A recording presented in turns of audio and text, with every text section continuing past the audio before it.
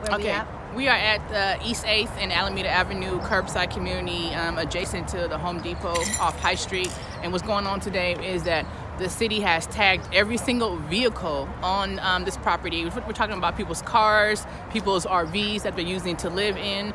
Um, this, the city is concentrating on the public lot, which I'm standing on right now. Everything has to come off of here. Everything has to come out off of here. So people are trying to move their RVs that don't work, trying to move their cars that don't work. We got people trying to move their motorcycles. Um, people are starting to tear down their homes, or else the city's going to tear it down, or else the city's going to come and tow it. The tow truck, the city tow truck has been circling around, just waiting, just waiting to tow something.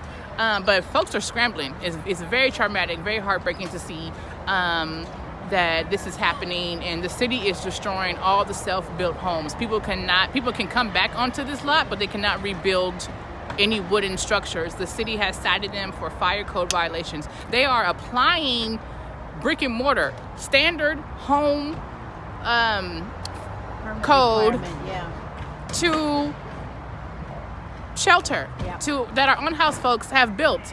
You know, we are in a crisis, right? Yeah. You know, so why are they applying, um, you know, building code Yep. to self-made structures? It's ridiculous. Exactly. And we're looking at one right here, you know, putting Yeah. it together, get, creating something out of nothing. What what's wrong with that? What's wrong with that when we on the street? Um, the interesting part was we building homefulness, they doing the same code things on us. They just Hey. did it on 16th yesterday. Really? 17th, 19th, excuse me. Can you tell me what's happening here, hon? Bunch of shit. I got that. All right. I'm gonna go, dreams. I'm gonna